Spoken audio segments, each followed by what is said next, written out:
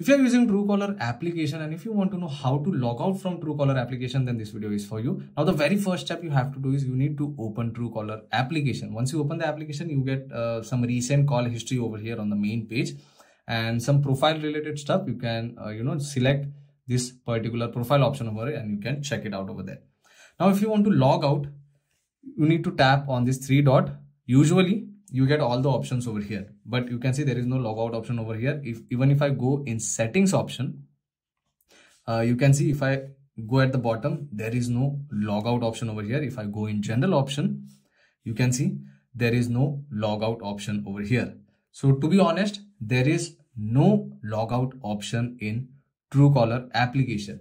But what if you still want to log out truecaller application? You don't want to you know logged in. You don't want to keep it logged in so for that, all you need to do is you can go at the bottom, you can select privacy center over here and you can go down and you can deactivate your account from Truecaller. But still it is not an logout option.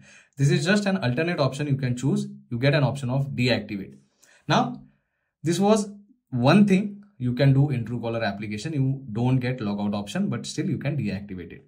Now, the second thing is if you still want to log out from Truecaller application, there is one thing you can do is, and that is simple. You can just simply clear the data in settings in apps option and you can just simply follow that logout step. Now, how can you do that?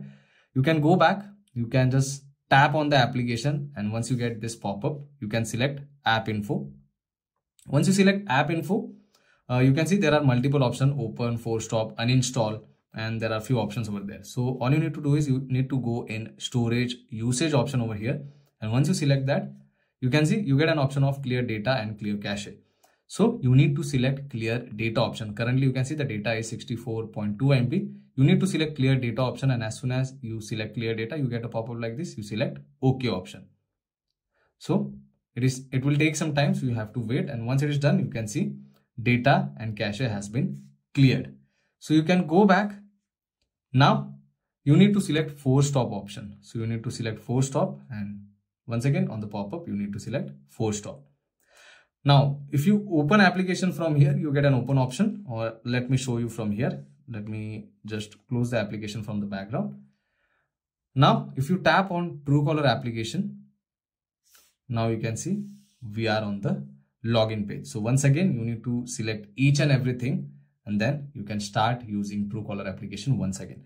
So there is no official logout option in Truecaller application all you can do is you can just select deactivate option which is present in Truecaller application or else you can clear the data uh, by going in your phone's setting option the second step which I have shown you.